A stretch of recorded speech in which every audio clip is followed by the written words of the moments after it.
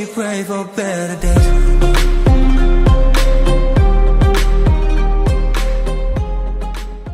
Herkese merhaba arkadaşlar. Bugün Söyleşi tadında bir video ile karşınızdayım. Özel bir konuğum var. Sinan Koç bizlerle. Hoş geldin Sinan, nasılsın? Hoş bulduk herkese. İyiyim Can. Sen nasılsın? İyiyiz biz de. Teşekkür ederiz. Pandemi sürecindeyiz işte. Bu süreçte çalışmalarımıza devam etmeye çalışıyoruz. Kolay gelsin. Valla yani aslında pandemi dijital iş yapanlara biraz yaradı diyebiliriz. Evden de içerik üretebiliyoruz. O ilk Evet. e, sokağa çıkma yasaklarında e, evden de içerik ürettik. E, çünkü belli bir kitle var, izliyorlar. E, ama tabii çok can sıktı yani. Evet. Dışarı çıkamıyorsun. İşte benim 3 yaşında kızım var. Hı hı. Evdeyiz yani parka götüremiyoruz. Artık o da kanıksadı. Baba mikrop gidince parka gideceğiz değil mi diyor. Gideceğiz kızım falan. Hani tatsız günler. Ama Evet. geçecek inşallah. Az kaldı diye umuyoruz. Şimdi otomobillerle ilgilenenlerin, e, YouTube'dan araç takip eden insanların yolu seninle kesinlikle en az bir kere de olsa İlla ki. kesişmiştir.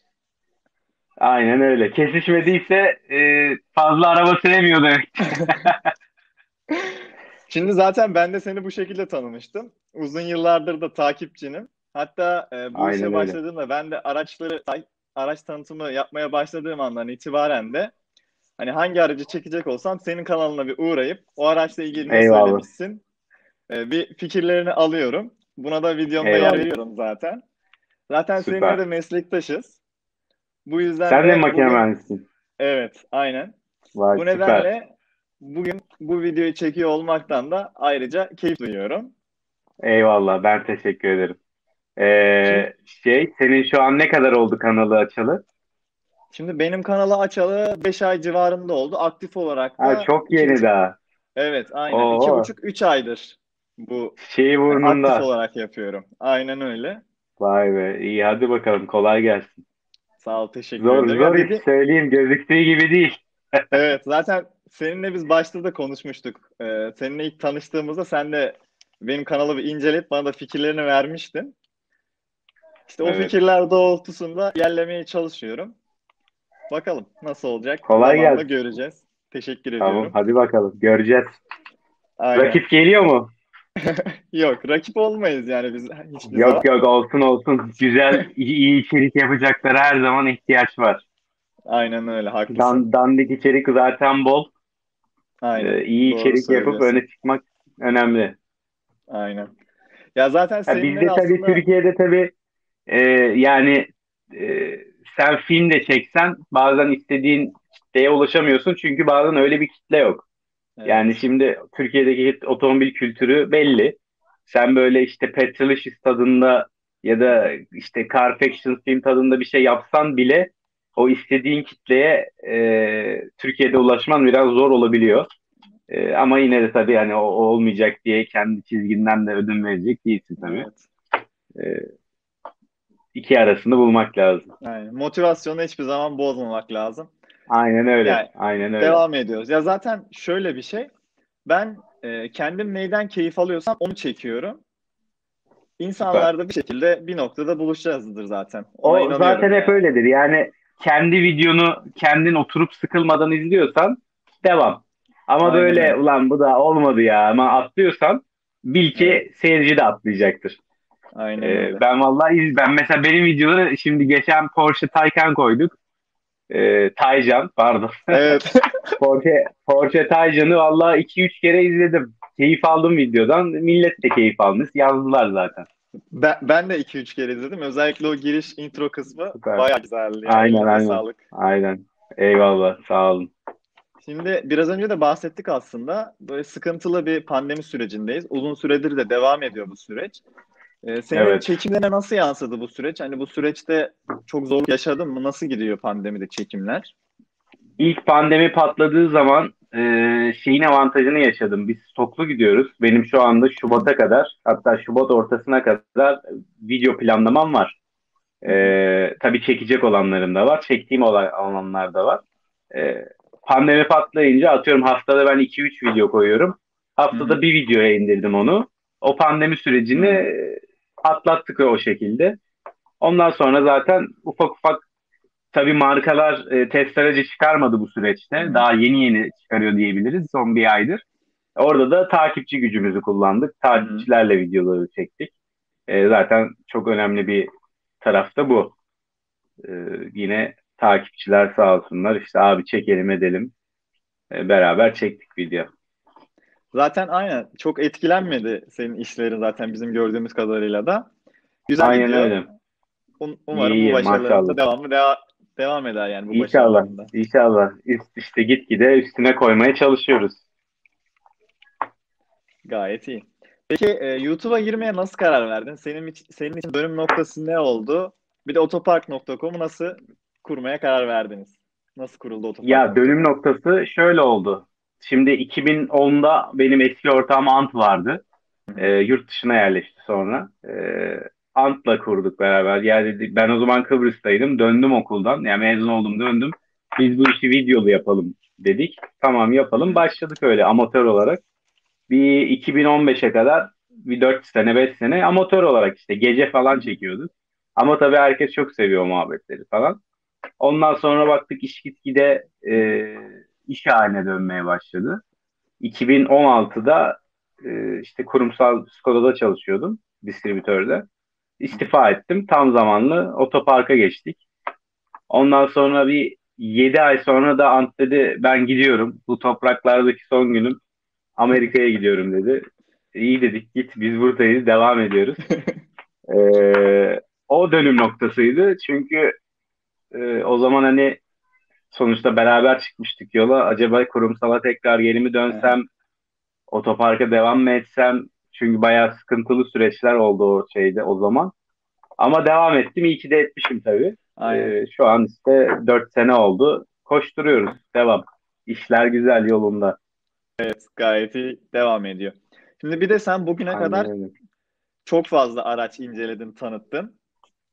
Evet. Ee, çok fazla Daha aracın çok da var yani. sürdü. Şimdi bakıyorum o kadar çok daha kullanmadığım da var ki. Yani derya deniz. Güzel onun için. Seviyorum işimi. Şimdi bu noktada iki tane sorum var sana. Bugüne kadar kullandığın araçlarda ya bu da mı bu yapılır mıymış dediğin en çok beğendiğin, en çok aklında kalan araç hangisi? Bir de çekmediğin, çekmek istediğin, hani bunu da kesin sürmem lazım, incelemem lazım dediğin araç. İki soru. Ee, valla artık o bu çok da sorulduğu için artık cevaplarım aslında belli. Ee, F12, Ferrari F12 Nirvana'dır. Atmosferik V12 Hı hı. 760 beygir 9000 çeviriyor.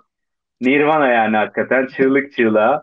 Ferrari yani at- atmosferik Ferrari bambaşka bir şey. Ee, geçen gün pistte RS6 çektik. Bayıldım yani. Zaten ar- vagon araba çok seviyorum. Hani RS6 da böyle tek araba hayat boyu kullanacaksın. RS6 da onlardan bir tanesi ki Hmm. ben Audi VAK grubu sürüş hissiyatını çok sevmeyen birisiyim ama RS'ler bambaşka. Videoda izleyeceksiniz zaten. Bekliyoruz. Ee, GT3 RS muhteşemdir. O da böyle 9000 çeviriyor çığlık çığlığa. Bayılırım o makineye. GT2 RS öyle. Porsche'leri seviyorum. Ee, yani R34 GTR çok yeri başkadır yani onun. O da çok hisli bir makine. Ee, iyi hissediyorsun yani kendini. Çok var ya. Tek tek bir cevap çok zor ama güncel tek cevap istiyorsan RS6 diyebilirim. Ha. Çünkü vagon, bagajı var, hızlı, piste de gidersin, tatile de gidersin. Ee, her şeyi yapıyor yani araba. Yanmıyor da. Peki şimdi Taycan'la ilgili, Taycan'la ilgili yorumların ne? Çünkü Taycan. geçen hafta yayınlandı senin video. Bu arada senin Evet. video yayınlanmadan önce ben de Taycan'ı test etmiştim. Tabii benim video süper. daha şu an kurgu aşamasında gelmedi. O aşamada şimdi gaza dokunduğunuz anda böyle bir içiniz çekiliyor gibi oluyor. Sanki roller coaster'da gibi hissediyorsunuz. Aynen, aynen. Sen nasıl hissettin? Yani bence Ya çok başka bir otomobil. 4S'ini aslında biz 4S'ini kullandık. 4S'den daha hızlı arabalar kullandım ben. Ee, ama tabii elektriğin o ilk e, tork patlaması hiçbir benzinliğe benzemiyor. Evet. Ee, gerçekten e, elektriklerin o torku torku vermeleri, aktarmaları inanılmaz. Hı hı. E, Taycan'ı ben çok sevdim. Ben hep elektriklere mesafeliydim. Sürüş keyfi Hmm. yok diye. Çünkü mini elektrik kullandım. O da böyle bir şeydi, keyifsizdi. Hani keyifsiz değildi ama gazlama arabası değildi. Ya E, zaten e, maksimum 150 kilometreye çıkıyor o.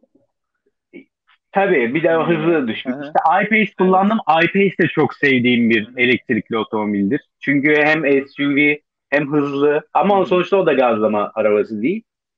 Tesla'ları kullandım. Çok hızlı Tesla'lar ama hı. o da gazlama arabası değil. Yani hissiyatı kötü. Ee, ya, yani tam şey değil ama Taycan'ı bir kullandık abi. Porsche yapmış. Viraja Aynen. giriyorsun. ip gibi direksiyon hissiyatı, şasinin dengesi falan. Dedim Çok başarılı yani. elektrikliye bir puan verdim orada yani. hani eskiden hep gazlama araban da e, gaz hani günlük arabam elektrikli kesin olsun isterim. Gazlama arabam da işte benzinli olsun istiyorum. isterim yani. Onu biraz daha elektrikliye bir puan daha verdim Taycan'dan sonra.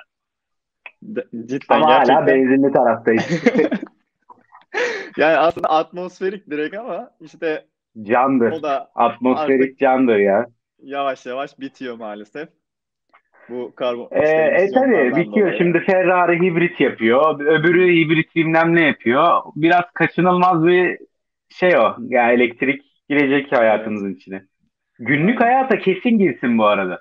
Ama Yani girecekse işte de işte Golf'ün- gibi girsin.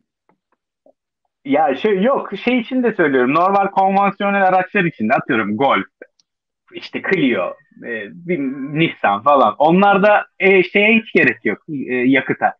Koy abi e, elektrikliyi gitsin. Yani onunla çok mu motor sesi var? Golf'te, Mazda'da bilmem ne de. Yani olmasa da olur anladın mı? Aynen. Bari hani çevreci olsun. Gerçi tabii Evet. Şimdi diyecekler abi üretirken de e, fosil yakıt e, tüketiyorsun. Bu Hı. tabii böyle komple bir paket. Yani ürettiğin enerjiyi de çevreci üretmen lazım. Arabayı ya şöyle söyleyeyim. E, otomobillerin yaydığı karbondioksit emisyonu e, bir e, uçağa göre, bir e, ağır ticariye göre, bir fabrikalara göre çok çok az. Az, Tabii ki aynen. onları da indirirsen çevreye faydası var ama asıl iş ağır sanayi, Evet. asıl iş e, toplu taşıma, asıl iş uçaklar, gemiler. Yani geminin bir yolculuktaki karbon emisyonu belki kaç bin tane arabaya işte yani. Aynen. Onun için e, bunlar ön çalışmalar ama asıl iş Hı. orada. Onları çevreci hale getirebilirsen gerçekten faydası olur. Dediğin gibi komple bir paket yani. Sadece otomobilleri veya sadece sanayiyi e, halletmekle bir, bir Tabii. noktaya varılmaz. Tamamen hepsini Aynen komple halletmemiz gerekiyor. Evet. Aynen Peki öyle. Test etmek istediğin araçlar arasında bugüne kadar işte test edemediğin ama şuna kesinlikle binmeliyim, test etmeliyim dediğin araç hangisi? Valla e, Ferrari F8 Tributo istiyorum.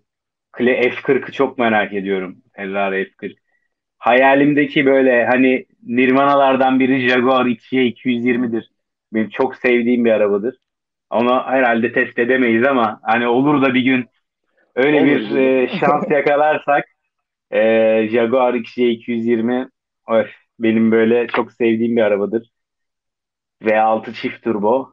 Zamanın hypercar'ı, süpürcar'ı. Ee, İngiltere'de görmüştüm Goodwood'da canlı canlı da tabii test etmek, hı. kullanmak ayrı bir e, dünyadır herhalde diye tahmin ediyorum. Muhtemelen sürüşü kötüdür. Çünkü eski teknoloji. bazen es- ya e, bazen böyle gözünde büyüttüğün arabalara, hayalindeki arabalara binince hayal kırıklığı oluyor. Ulan pek de gitmiyormuş, pek de dönmüyormuş. Ulan freni tutmuyormuş falan ya da oturuş pozisyonu çok kötüymüş. Bunları diyorsun. Ee, ama tabii hani o hayalindeki imajını da kırmak istemiyorsun. Böyle kendinle çelişiyorsun. Böyle kalsın o zaman. Öyle diyelim yani. Aynen öyle. Aynen, Hayallerde öyle. kalsa daha güzel olacak gibi. Aynen. Peki de senin şimdi çekimlerinde aksiyon da çok eksik olmuyor. Genelde böyle hep aksiyonlu Evet. bir şeyler yapmaya çalışıyorsun. Bu aksiyonlar Yani arabasına göre. Yani evet. Ama genelde yapmaya çalışıyorsun. Bugüne kadar peki e, hiç böyle başına gelen bir talihsizlik ne bileyim mesela unutamadığın bir kaza vesaire oldu mu? Vallahi olmadı. Ee, Allah'a şükür. Çünkü hani orada sen aksiyonu görüyorsun ama işte atıyorum virajın iki viraj ötesine biz batuhanları koyuyoruz. Telefon açıyoruz. Gelen var mı? Yok. Boş. yapıştır. Hani trafiğin içinde yap ya tamam evet trafik var ama e, boşken yapıyoruz. Hı hı. Ee, bunu bazen böyle ekşi sözlükte falan yazıyorlar ama böyle işte "Ay, kandırıyor sizi falan da yok ya gerçekten öyle. Hı hı. Ee, drone kaldırdığımız da oluyor. Telsizimiz var. Telsiz olmadığında telefon açıyoruz. Hani gel boş mu gel yapıştır. hı. Ee, ha, tabii ki ya günün sonunda teorik olarak evet trafiği açık alanda yapıyorsun. Suç mu? Ee, evet hani suç ama hani trafiğin içinde yapmıyoruz anladın mı? Ee, bomboşken yapıyoruz. Hı hı. Çekim yaptığımız saatlerde zaten trafik olmuyor. Ee, o şekilde. Bir de kendi şeridimde gazlıyorum.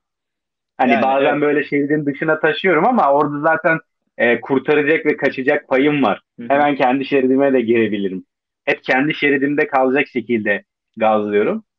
E, bir sıkıntı yaşamadım e, bugüne Uma- kadar. Umarım bundan sonra da yaşamazsın. Aynen öyle. E, dikkat ediyoruz tabii ki. Hani risk var mı? Var. Yok değil Aha. demiyorum. E, onun için e, çok böyle eğer hakikaten gazlayacaksam piste girmeyi tercih ediyorum. Ama tabii o da bir maliyet. Ay- Evet. Aracı ayarlamak, pisti ayarlamak kolay Hı. değil. E, o şekilde. Anladım. Şimdi biraz daha eğlenceli bir bölüme geçmek istiyorum. Şimdi ben Tamam. sana birkaç tane araç ismi söyleyeceğim. Bu listeyi ben Tamam. hazırladım. Şimdi e, bu aracı, bu araç söyleyeceğim araçların içerisinde bir tanesini alacak olsaydın, bir tanesi senin olsaydı hangi aracı seçerdin? Seçerdim. Bu listeyi ben hazırladım tabii. Bu listede de Tamam. unuttuğum illaki birçok araç olacaktır. Şimdi bunu izleyen arkadaşlarımız da en az 2-3 tane aracı olacaktır işte bu listede şu da olmalıydı dedi. Şunu da koysaydın, bunu da Aynen. koysaydın. Şimdi onu arkadaşlar yorum kısmına yazarsa biz de neleri unutmuşuz görürüz. Bence senin için gitgide zorlaşacak seçmesi. Şimdi Allah. hazırsan başlıyorum. Tamam başlayalım. tamam. Şimdi ilk olarak ben, benim kendi araçlarımdan başladım ben. Ondan sonra daha daha çeşitli araçlara doğru gideceğiz. Sende Her ne var? Bende Scirocco var. Bir de Leon Güzel. FR var. Şimdi bunlarla Oo, başlamak istedim tamam. o yüzden. Aynen. Şimdi makyajlı Scirocco mu? MK4 Leon FR mı? Hangisini seçerdin? Tabii ki Scirocco. Direkt Scirocco diyorsun. Hiç tereddüt Evet. etmeden. Tabii ki. Çok keyifli arabadır. Leon'la alakası yok yani.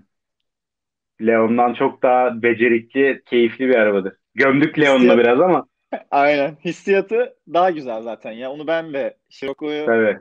e, kullandığımda fark ettim Leon'dan sonra. Ya Başka Leon fiyat hissiyatı var. performans arabası. Aynen. Fiyat Hı. performans arabası. Tipi, sundukları mantıklı bir araba haline getiriyor ama çok yetenekli ya da çok keyifli bir araba değil. Hemen özette bir şeye geçeyim. Tamam. Ama tipi şekli güzel arabanın. Yani Aynen. gayet Tasarımı hoş bir güzel. araba. Bir Evet. de MK4 bu yeni gelecek kasa da bence o işte far yapısını Porsche'ye benzetmeleri, komple devam Evet, eden bir evet. far yapısının olması o anlamda güzel bence. Dış tasarım Bakalım bir anlamında. gelsin de bir inceleyelim. Evet. Tamam devam ediyorum o zaman. Peki Tamam. Scirocco mu Mazda 3 mü? Ya şimdi bambaşka segmentler. Mazda'yı da çok seviyorum. Hani Mazda da bence C hatchback'ler arasındaki en iyi arabalardan bir tanesi. Hani bana desen yeni yeni Golf mü, yeni Mazda 3 mü, yeni Mazda 3 derim mesela. Mazda çok seviyorum ama Hı hı. şimdi 25 yaşında üniversite öğrencisiysen tabii ki Mazda 3 ama şimdi e, aile babası olarak pardon 25 yaşında öğre- üniversite öğrencisiysen tabii ki Scirocco. Scirocco. Ama bir aile babası olarak Mazda 3 diyorum şimdi. Hı, tamam. Ya ben daha ilerleyen yerlerde zorlanırsın diye düşündüm, düşünmüştüm ama Tamam. sen biraz başta zorlandın. Şimdi tamam devam. Başta Mazda, Heh, tamam. ya dediğim Mazda'yı da farklı, çok seviyorum çünkü. bilerek farklı segmentte senin de böyle daha çok seveceğini düşündüğüm arabaları koydum. Aynen. İşte hepsinin açıklaması var. Onun için. Tamam devam ediyorum. Mazda 3 mü? Alfa Romeo Giulietta mı? Mazda 3. Mazda 3. Tamam bunu da çok şey yapmadım. Ama yenisi. Tamam. Yeni Mazda 3 mü? Subaru BRZ mi? BRZ. BRZ. Arka vites candır. Değil mi? Aynen. Tamam. BRZ mi peki Subaru Impreza mı? Hangi impreza olduğuna bağlı. STI mi? VRX mi? Impreza. Ha Impreza. Hayır hepsi olur. hepsi olur. VRX olur STI'ye çeviririz biz. Tamam. Sen onu halledersin o zaman. Aynen. Tamam. Şimdi dediğim gibi yine çok farklı klasmanda iki araba. Impreza mı Mercedes G klası mı? G. G'yi satarsın, impreza filosu kurur, kurarsın sonra. Ya o G'nin şekilde yeri ayrı. bakma. Onu bu G. araç sana ver- verecekler. Hep bunu kullanacaksın. Satma şansın yok. Tamam G. Okey G. Her türlü kârdasın. Tamam. G de çok G- iyi. Ya zaten e, bir araştırma Yani yapmışlar. Subaru'dan hızlıdır G bu. Hani G500 falan Subaru ile yürürsün. Zaten bir araştırma yapmışlar. E, erkeklerin böyle en çok hayalinde olan otomobillerden biriymiş bir ankete göre G Class. Doğrudur. Benim ben şöyle söyleyeyim test edene kadar fazla böyle hani G okey falandı ama kullanınca yaşayınca G'yi ulan G'ci oldum yani öyle söyleyeyim. Anladım. Tamam o zaman devam ediyorum G ile. G Class mı Audi A8 Long mu? G G. Tamam. aynen. G Class mı Maserati Gran Turismo mu?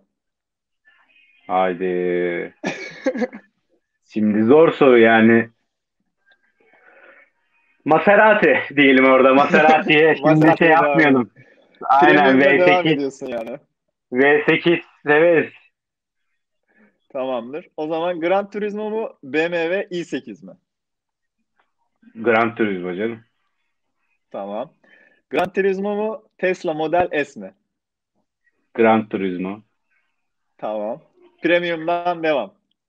Gran Devam. Turismo mu Nissan GT-R mı? Yani şimdi Nissan GT-R çok daha yetenekli, daha hızlı. Ee, yani neye kullanacağına bağlı. Piste miste gireceğim için GT-R diyorum. GT-R Çünkü diyorsun. Maserati pistte bir yerden sonra cortlar gibi. E, Nissan Nissan yürür. Üzmez seni Nissan bence de. Yüzmez. Aynen. Tamam. GT-R'la devam ediyorum. Peki GT-R mı BMW M3 mü? Vallahi çok zor soru ya. Şimdi GT-R da zevkli ama M3'ün de tadı başka. Hani GT-R çok hızlı. M3'üne bağlı ama M3 diyeyim ya ben. Arkaya yetiş Tamam. candır ya. Daha eğlenceli. Tamam o zaman M3'le devam edelim. M3 mü Audi RS6 mı? Oo, zor soru. RS6. RS6. Zaten Aynen. biraz önce de bahsetmiştin. Gayet Aynen. beğendiğini. RS6 Tamam. güzel ya. O zaman RS6 ile devam ediyoruz. Şimdi Evet, bakalım. RS6 mı? Ferrari 458 İtalya mı? E, 458 İtalya tabii canım şimdi. Orada orada da her şeyin bir yeri var. Herkes yerini bilsin. RS6'nın bulması 458. gereken bir yer var diyorsun. tabii 458 tabii ki. Şimdi tamam 458 İtalya'yı o zaman ayırdık. Onunla devam ediyoruz. 458 Tamam. İtalya mı? Lamborghini Aventador mu? Aventador'a da binmek isterim yani. O da V12 güzel makine. Aventador'a bir terfi edelim. Çünkü Tamam. 458'den hızlı. Aynen. Tamam o zaman Aventador. Şimdi Aventador mu? Porsche Taycan Turbo S mi? Aventador canım. Dur ya elektrikli o kadar da değil yani. Da- daha henüz değil diyorsun. Daha vakti Daha var. değil aynen. Aynen. Tamam. O zaman Lamborghini, Lamborghini Aventador seninle oldu. Tebrik ediyoruz. Oo Ya ben- süper. Ben Aventador'a terfi ettik. Hazırlarken 458 İtalya ile Aventador arasında kalmıştım. Ee, ben çünkü geçen hafta 458 Sp- Spider'ı kullandım. Onu da test etme şansım oldu. Süper. Kullanmadım aslında da test ettim diyeyim. Çünkü kullanamadık. Aha. Dışarıda çok fazla yağmur yağıyordu. Arabayı da dışarıya çıkartamadık. Anladım. süremiz de vardı. Ee, Aventador'a ben de binmeyi, bir test etmeyi çok isterim. Hatta benim olsun da tabii ki isterim. Aventador güzel makinedir. Tasarımı, motoru, böyle öhli süspansiyonlar falan iyidir yani. Severiz. Aynen. İyi, güzel Bu bölüm- bitirdik. Aynen. Aventador'la güzel bitirdik. Bu bölümün de sonuna geldik. RS6 kalıyordu. Az daha Aynen. RS... Peki RS6 deseydin 458 yerine nasıl devam edecekti? Yine RS6 458 Aventador mu? Evet. Hangisini seçerdin? Aventador RS6, alırdı. Aventador Aventador. Yani şöyle hani ben şu anda kişisel tek kişi olarak cevap veriyorum ama Aynen. hani gerçekten şu an kullanmak isteyeceğin araba desen RS6 gene. Çoluk var, çocuk var. Otomatikini. Esra da kullanır. E, tatile de gideriz. Bilmem ne. O zaman RS6 gene kazanıyor. Ama Aventador kaldı. Dediğin gibi. Avantaj şimdi madem o kadar eğleniyoruz bari hayallerimizi Aynen. şey yapmayalım. Törpülemeyelim. Aynen. Şimdi ben senin geleceğini işte Instagram'da söylediğim zaman takipçilerimden hani soru rica ettim. Hani sormak istediğiniz sorular var mı diye. Tabii. Şimdi bu soruların arasından da birkaç tane soru seçtim. İlk soru Tamam. Japonların en iyi otomobili hangisi diye sormuş bir tane arkadaşımız. Japonların mı? Evet, benim aklıma iki tanesi geldi. İlk Şimdi şöyle, söyle. O cevabı da şöyle verebiliriz. Hani genel olarak Japon kalitesi Hı hı.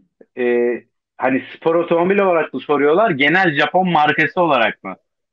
Ee, bir tek bir araç özelinde yani model olarak söyleyebiliriz bunu. Ha, aslında onlar açıklamamış. şey gazcı kafasıyla sor- soruyorlar muhtemelen. Aynen, muhtemelen.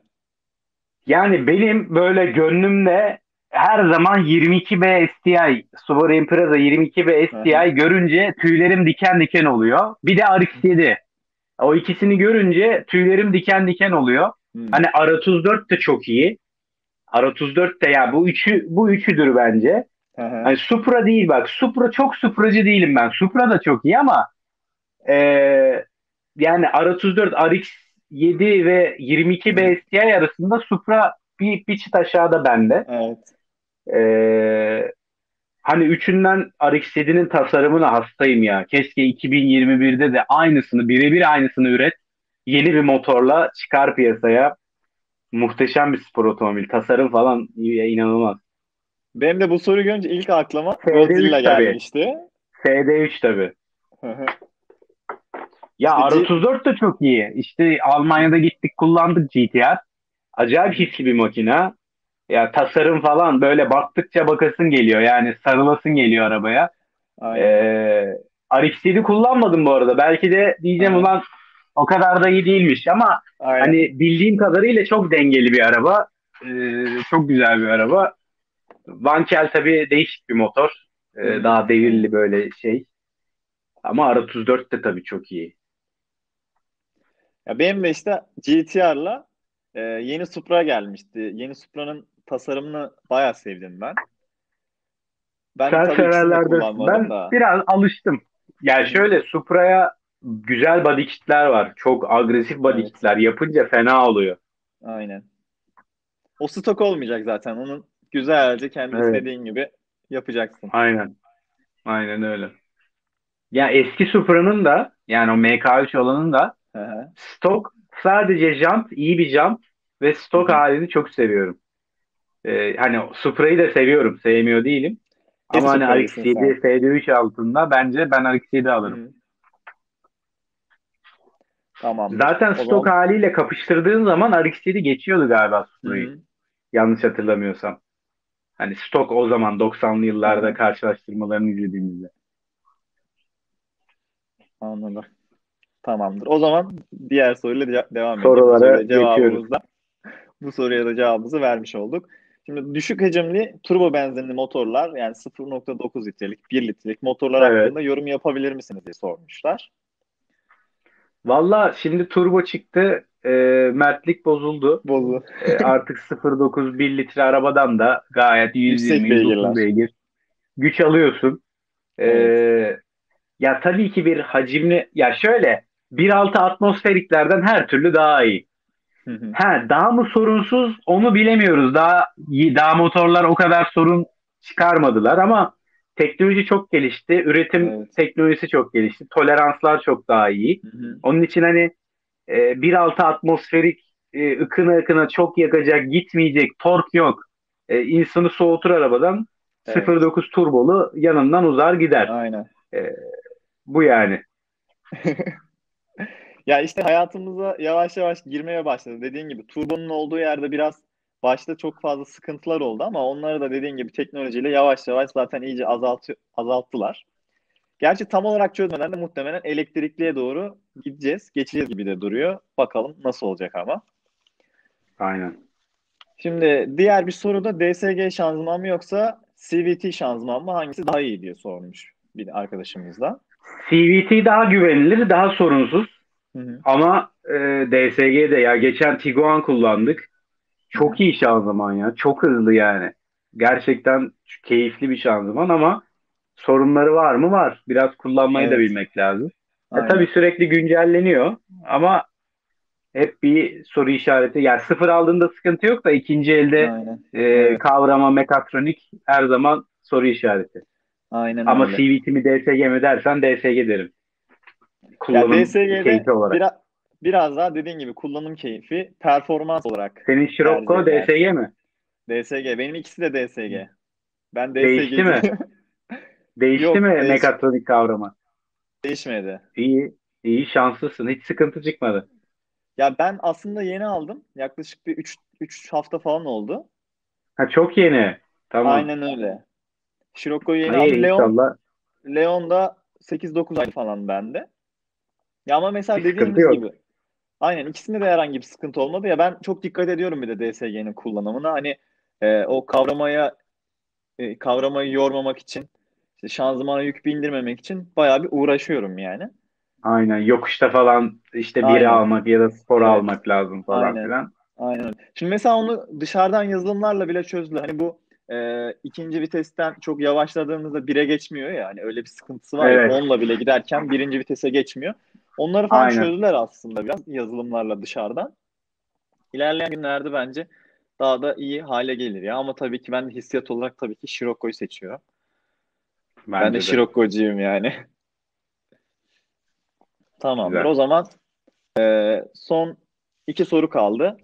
Şimdi Tamam. Klasik araç mı yoksa teknolojik araç insanı mısın diye sormuş bir arkadaşımız da. Ya ben ikisi deyim aslında. Ya şimdi biliyorsun e, 80 model Ford Taunus topluyoruz. Ondan Aha. aldığın keyif bambaşka. Çünkü Evet. E, yenilerle kıyaslıyorsun aslında çok eksik. Yalıtım yok, e, freni yok, e, dönmüyor falan. Şimdi onu işte biraz daha öyle modifiye edip e, durur döner e, hale getirmeye çalışıyoruz. E, ondan aldığın keyif de bambaşka. Yani eski arabalardan alınan keyif bambaşka.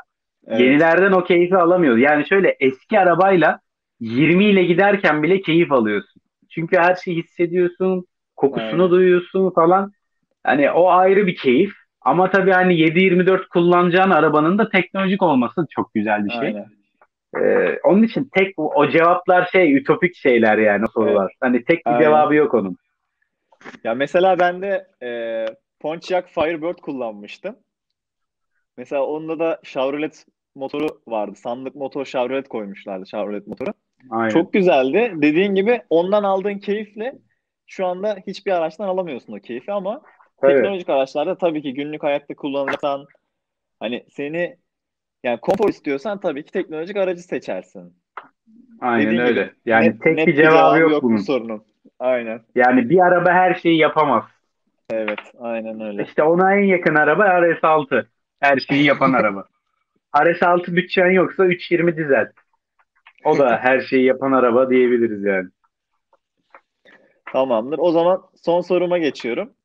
Ee, Tamam. Bu da muhtemelen senin bayağı eski takipçilerinden biri. Pampa Ruhu serisinin devamı gelecek mi diye sormuş.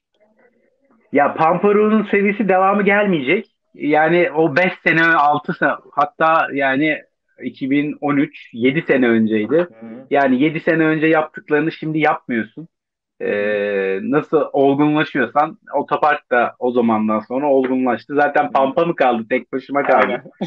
Şu an onun için e, hani bakıyorum güzel anılardı ama şu anda gelmez devamı. Gelecek bir Ya. ortam da yok zaten. Farklı bir dediğin gibi farklı bir ortam gerekiyor Aynen. Her için. şey zamanında güzel. Zamanında o da güzel. zamanında güzeldi. Öyle kalması daha iyi. Şimdi yapsan e, eğreti durur. Güzel olmaz. Aynen. Bu kadardı sorularımızda. Videomuzun Teşekkür sonuna ederim. geldik. Konuğumuz Evet bayağı bir de- oldu. Yarım saat oldu. Aynen evet. Konumuz olduğun için de vakit ayırdığın için de sana teşekkür ediyoruz. Sağ ol. Ben teşekkür ederim. O zaman Bundan sonra sana baş- YouTube Başarılar maceranda diliyorum. başarılar diliyorum. Ben sana diliyorum. İşin zor. Ederim. Hadi bakalım. Bakalım umarım başarılı bir şekilde gerçekleştireceğiz. Güzel şeyler yapmayı Kendine düşünüyoruz. Bakalım. Görüşürüz. Teşekkür Tamam ederiz. haber edip haberleşiriz. Kendine iyi bak. Tamam, tamamdır. Arkadaşlar sizler de izlediğiniz için teşekkür ediyoruz. Otopark.com'a ve benim kanalıma da abone olmayı unutmayın. Görüşürüz. Can Ünalan değil mi? İsminle kanal. Canın alan. Tamam süper. Tamamdır. Görüşürüz. Görüşmek üzere.